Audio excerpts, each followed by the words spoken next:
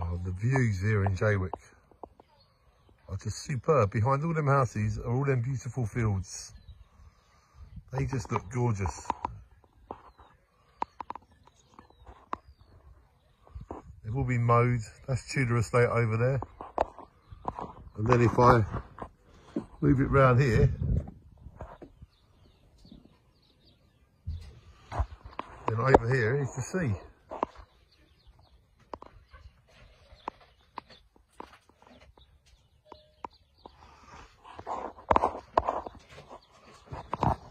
And also it is a beautiful, gorgeous day.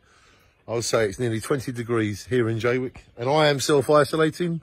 I've done my hour exercise. I now am standing here on a chair looking at these beautiful views. I hope you enjoy looking at the beautiful video because I love making these beautiful videos. Even though we're on self-isolation, we can still make videos. We can still enjoy life to the best of our ability. Please shine on.